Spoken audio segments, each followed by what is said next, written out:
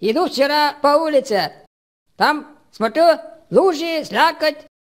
А туда-сюда, туда-сюда несутся разные машины. И брызги во все стороны летят. А смотрю, впереди идет один мужик. И все машины его почему-то аккуратно обходят.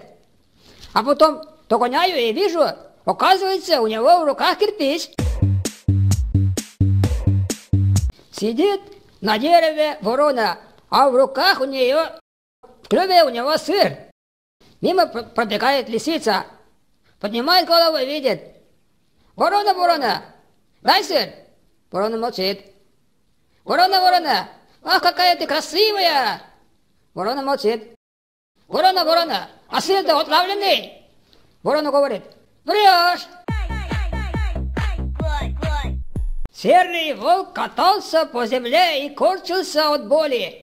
И он еще не знал, что красная шапочка имеет не только красную шапочку, но еще и черный пояс по карате. Утро. Мужик с бодуна просыпается, открывает клетку с попугаем, открывает шторы, идет на кухню, открывает холодильник, наливает себе водки, выпивает, потом ставит холодильник, идет обратно, закрывает шторы, накрывает попугая и ложится спать. Попугай говорит, да ничего себе, длинный день оказался.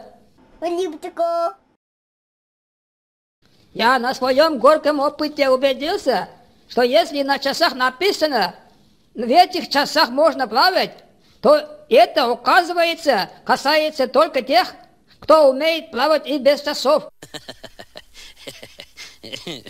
Да, ко всем можно найти подход. Например, к тем же рокерам.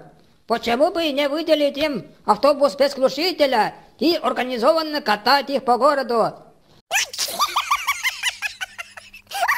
Некоторые ученые утверждают, что если коров не доить, они могут умереть. Некоторые женщины, видимо, тоже придерживаются такого, такого мнения по отношению к мужчинам. А кто, а кто это сделал? Дашник, увидев на своей яблоне соседского мальчика, ему говорит, «Вовочка, слезай с дерева, я хочу поговорить с твоим отцом». Вовочка поднимает голову и говорит, «Папа, ты слышал? Дед Петруха хочет с тобой поговорить». А еже? На прошлой неделе во время зимней рыбалки на Московском море дед Петруха вытащил акулу, но решил отпустить назад, потому что никто бы не поверил. Да и сам он начал сомневаться, потому что к тому времени уже изрядно выпил. Подписываемся, кликаем на колокольчик